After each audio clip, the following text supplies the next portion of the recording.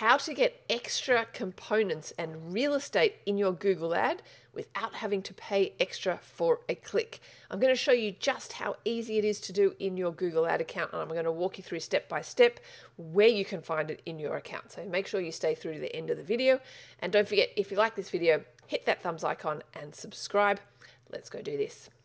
So if you're unsure what I mean about getting extra real estate in your ads, here's what I mean. So I've just did a quick Google search for dentist Sydney, and as you can see here, this first particular advertiser has got an image in their ad, uh, attached to their ad, let's say, and they've got extra links down here. So this is their main uh, where they're sending the traffic to, but then these particular links go somewhere else on their website.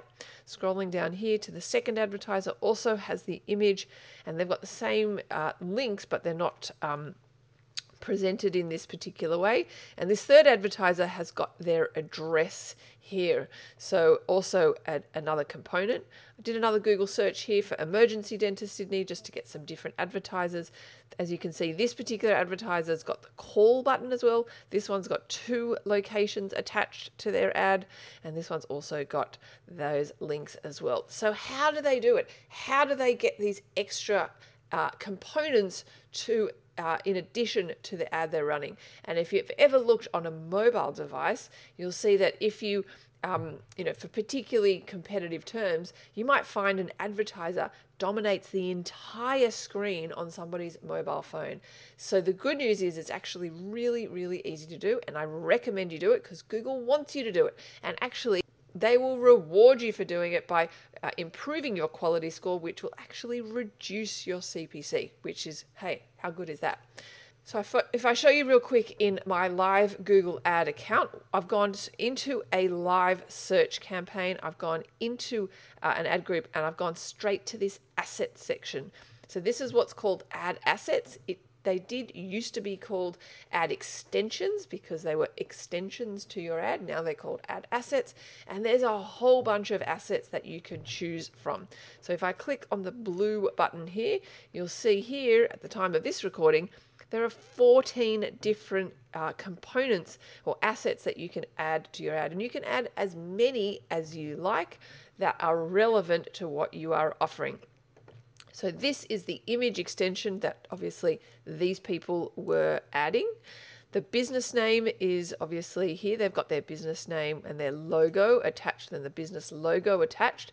These site links, these are the site links that they've got attached here. If I show you real quick for site links, these links go to different pages on your website.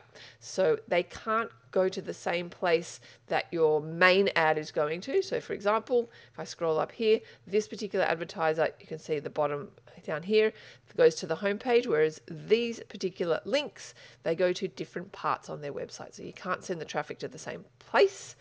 Uh, and so what you do is you just go to site link and you can put in your site link text here which is what will be shown as the text for the hyperlink.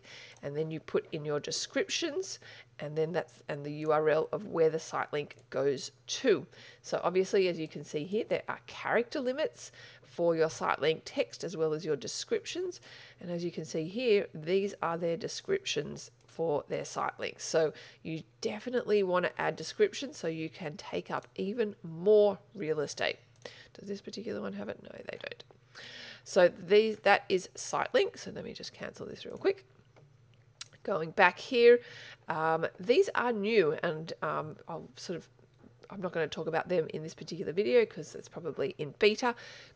Call out extensions are similar to site links, but they're non-clickable. So if I click on this real quick, you can see here they are this is where the call out text would be. So they're kind of hard to see um, in your actual ad because they are attached to your ad copy. So if I were to look in an ad here uh, obviously this doesn't seem to have it but we don't really know which ones are the call outs but you see you'll see here um, that's where the call out text is here and you can add up to four.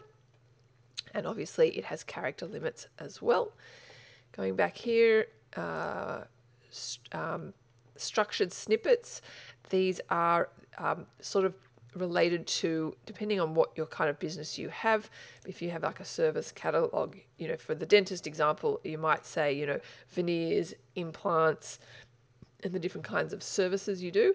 But if you've got a business that doesn't really have a service catalog or something that really fits in like courses or anything, you might not be able to use a structured snippet uh, ad asset. I'm a big fan of the call extension if you have a business that is trying to drive calls. It just works very, very well. So if you click on this, you um, put in your phone number, and then uh, call reporting is automatically turned on, and you need to set up the call tracking. Uh, so definitely think about adding call extensions. And as you can see here, this is they've got the call extension enabled there. I cancel that real quick, They've also got a lead form. Personally, I'm not a massive fan of that. And you definitely want, if you also have a local business, you definitely want to attach your location extensions. And as I showed you here, that is how these people have managed to get that. Uh, price extensions, really, you know, some people want to do it, some people don't. It's really individual. The app is obviously to encourage downloads of your app, and the promotions is, you know, where you can showcase your specials, which you may or may not want. It's really um, only really relevant for uh, e commerce, in my opinion. So there you have it. That's how you get extra real estate in your Google Ads without having to pay more for a click. In fact, you probably pay less because you've improved your quality score. If you like this video, definitely check out our website for all our training courses at teachtraffic.com. Like this video and subscribe for more awesome videos coming your way. Thanks for watching.